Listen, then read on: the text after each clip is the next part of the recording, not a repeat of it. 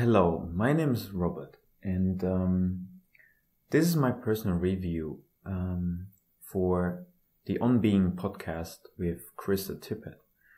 And I just had a look at the website, which is onbeing.org, and it's subtitled with the big questions of meaning.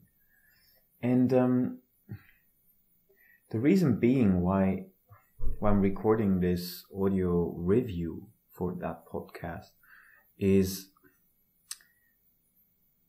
that it, you know, that on being helps me to kind of clarify the questions just for my own personal life. It's like there's so many conversations that you know Krista has with people um, who just share stories, moments, and um, reflections from their like just personal life, and you know, listening to these private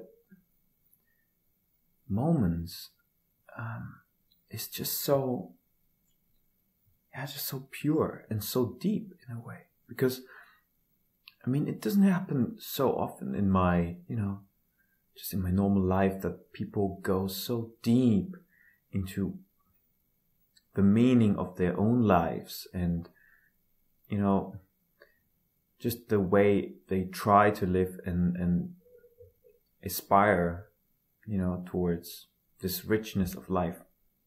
So, um, I just love to listen, you know, to to this podcast um, also, mm, I guess be- because Krista has a beautiful way of um, communicating and uh, having conversations. Um, she actually refers to to um, interviews, so that she has interviews with people. Whereas I would, I would, I wouldn't even say she has interviews with people um, in the in this classical understanding but she has conversations.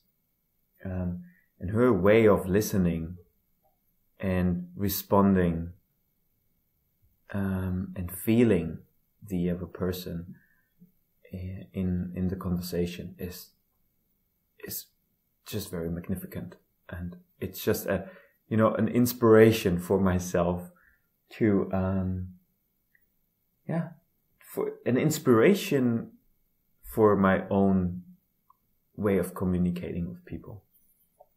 So if if you're looking um, for a podcast that touches upon the sort of deeper questions, you know, of sense making um, of one's personal life, what this you know whole life on Earth is all about, and and um, the different ways we can embrace this richness of life, then I can definitely warmly recommend you to listen to On Being with Krista Tippett. Thank you.